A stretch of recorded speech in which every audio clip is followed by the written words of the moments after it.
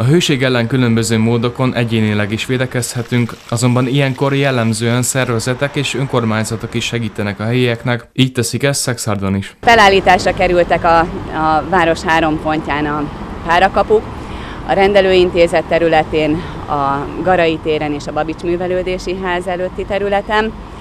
A forgalmasabb helyeken vízosztással próbál, próbáljuk segíteni a, a járókelőket, illetve az önkormányzati területeken, parkokban, az ivóvi parkokban, játszóterek mentén az ivókutak működnek. Egy esetleges következő hőségriadó esetén ezek az intézkedések ugyanúgy a helyiek rendelkezésére állnak majd. Azt nem szabad elfelejteni, hogy ezekben az időszakokban nagyon fontos, hogy figyeljünk önmagunkra, amennyire lehet kerüljük a kültéren tartózkodást 11 és 3 óra között kifejezetten, illetve zárt ablakok és ajtók mellett tartózkodjunk a, a lakásban is, hiszen a szellőztetést inkább a, a késő esti, illetve a kora reggeli órákban kell megtennünk.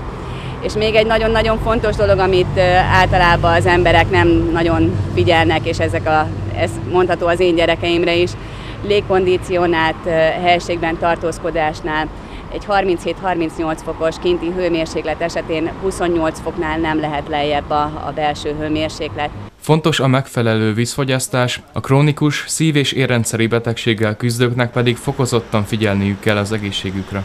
Nem árt, ha beszélnek kezelőorvosukkal, házi orvosukkal, de úgy gondolom, hogy a legfontosabb, hogy a családunkra, a környezetünkre is figyeljünk, ha valakinek szüksége van segítségre, ne menjünk el mellette az utcán. Pénteken az ország egész területén jellemző volt az extrém, illetve nagyon erős UVB sugárzás is. A szakemberek arra kérnek mindenkit, hogy fokozottan védekezzenek a leégés ellen. Normál bőrtípusnál már 15-20 perc napon tartózkodás esetén is bőrpír keletkezhet, amely 24 óra múlva is jól látható.